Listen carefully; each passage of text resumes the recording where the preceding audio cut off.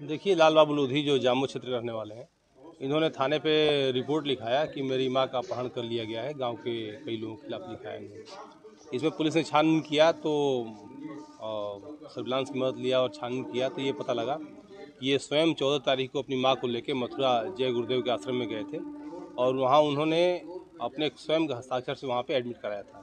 और यहाँ पर आके इन्होंने दबाव बना के ये मुकदमा लिखाया। और कहा कि नहीं बरामद होगी तो हम आत्महत्या कर लेंगे। इस तरह से दबाव बना रहे थे।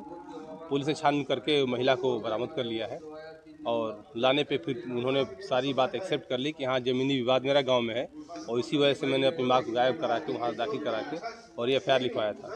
अब इसमें चूँकि इन्होंने गलत एफ़ लिखा है इनके खिलाफ एक सौ बयासी की कार्रवाई की जा रही है।